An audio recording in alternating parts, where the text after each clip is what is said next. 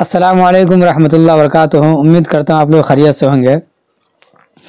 آج میں آپ لوگوں کو اللہ کے نبی حضور پاک صلی اللہ علیہ وسلم کے متعلق کچھ باتیں، نصیحت لے کے حاضر ہوا ہوں، جو جاننا ہر مسلمان کو ضروری ہے، تاکہ ہمیں معلوم ہو کہ اللہ کے نبی کس قبیلے سے تعلق رکھتے تھے۔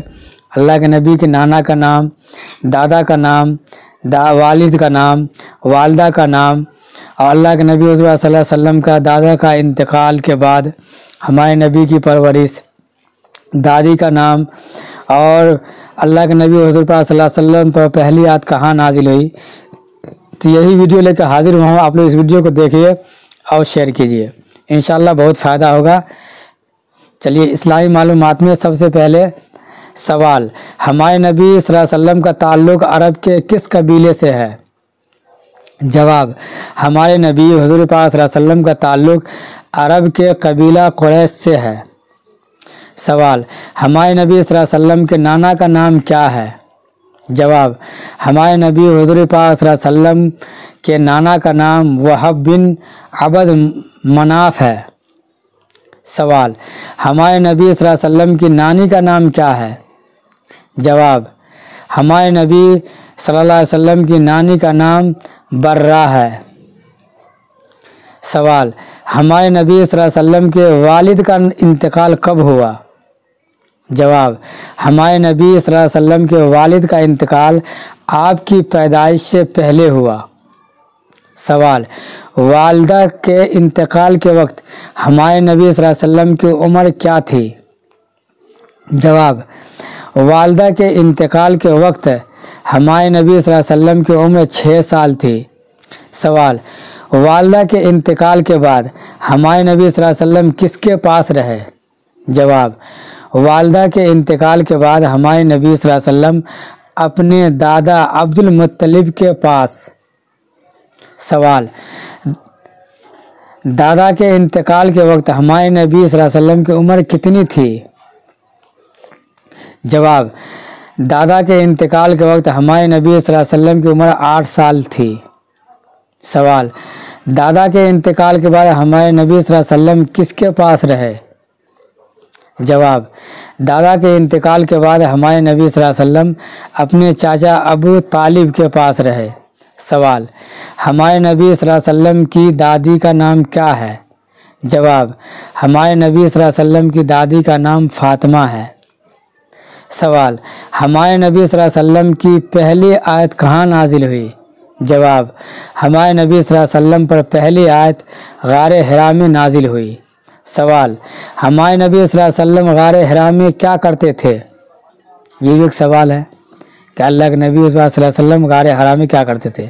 جواب، ہمارے نبی صلی اللہ علیہ وسلم غار حرام میں اللہ تعالیٰ کی عبادت کرتے تھے۔ سوال۔ دین کی خاطر ایک جگہ چھوڑ کر دوسری جگہ چلے جانے کو کیا کہتے ہیں؟ جواب دین کی خاطر ایک جگہ چھوڑ کر دوسری جگہ چلے جانے کو ہجرت کہتے ہیں۔ ایک جگہ سے دوسری جگہ جانے کو ہجرت کہتے ہیں۔ سوال مسلمان سب سے پہلے ہجرت کر کے کہاں گئے؟ جواب مسلمان سب سے پہلے ہجرت کر کے ملک حبشہ گئے۔ ایک ملک نام ایک دیش کا نام حبشہ ہے۔ سوال، مسلمان دوسری ہجرت کر کے کہاں گئے؟ جواب، مسلمان دوسری ہجرت کر کے مدینہ منورہ گئے۔ سوال ہمارے نبی صلی اللہ علیہ وسلم نے کس مہینے میں ہجرت فرمائی؟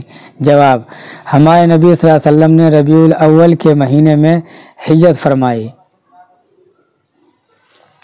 سوال، مدینہ منورہ میں اسلام کب پھیلا؟ جواب، مدینہ منورہ میں اسلام ہجرت سے دو سال پہلے پھیلا۔ سوال، ہجرت کے وقت ہمارے نبی صلی اللہ علیہ وسلم کے ساتھ کون تھے؟ جواب، ہجرت کے وقت ہمارے نبی صلی اللہ علیہ وسلم کے ساتھ حضرت ابو بکر رضی اللہ عنہ تھے۔ سوال، ہمارے نبی صلی اللہ علیہ وسلم مدینہ منورہ شہر میں کس دن داخل ہوئے؟ جواب، ہمارے نبی صلی اللہ علیہ وسلم مدینہ منورہ شہر میں جمعہ کے دن داخل ہوئے۔ سوال۔ ہمارے مدینہ منورہ میں ہمارے نبی صلی اللہ علیہ وسلم کن کے مہمان رہے؟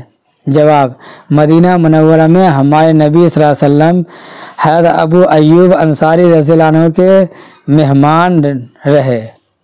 سوال ہمارے نبی صلی اللہ علیہ وسلم نے مدینہ منورہ پہنچ کر پہلا کام کیا کیا؟ جواب ہمارے نبی صلی اللہ علیہ وسلم نے مدینہ منورہ پہنچ کر سب سے پہلا پہلے مسجد بنوانے کا کام کیا۔ ہمارے نبی مدینہ منورہ پہنچنے کے بعد سب سے پہلے مسجد بنوانے کا کام کیا۔ سوال، مدینہ منورہ میں سب سے پہلی مسجد کا نام کیا ہے؟ جواب، مدینہ منورہ میں سب سے پہلے مسجد کا نام مسجد نبوی ہے۔ سوال، ہمارے نبی صلی اللہ علیہ وسلم نے حج کب کیا؟ جواب، ہمارے نبی صلی اللہ علیہ وسلم نے سن دس میں حج کیا؟ سوال، ہمارے نبی صلی اللہ علیہ وسلم نے جو حج کیا، اسے کیا کہتے ہیں؟ جواب، ہمارے نبی صلی اللہ علیہ وسلم نے حج کیا، اسے حجت الوعدے کہتے ہیں۔ یہ بھی اسلام کے بارے میں معلوم ہونا بہت ضروری ہے۔ تو چلیے، اب اس میں ایک دو حدیث آپ لوگوں میں سنا دیتا ہوں۔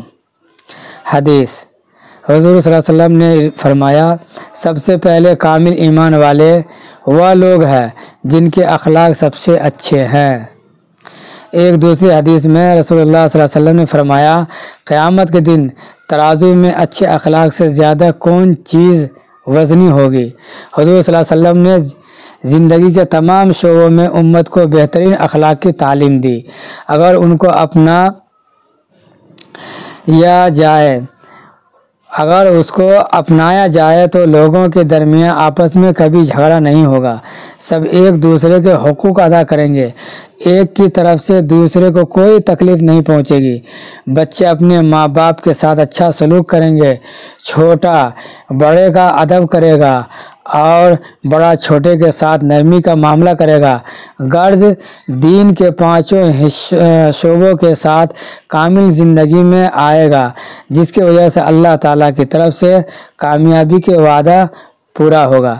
تو اللہ تعالیٰ ہم سب کو دین کی بات پہ چلنے کی اور دین کی صحیح سمجھ عطا فرمائے۔ اور اللہ تعالیٰ سے دعا ہے کہ جہاں کئی مسلمان بھائی پریشان حال ہے، اللہ ان کی پریشانی کے دور کرے۔ اللہ تعالیٰ پورے دنیا میں مساجد، مدارس، مکاتب اور علماء کرام کی اللہ حفاظت فرمائے۔ نیکسٹ ویڈیو کا انتظار کرے۔ اللہ تعالیٰ آپ لوگوں کو سلامت رکھے۔ ویڈیو کو شیئر ضرور کرے۔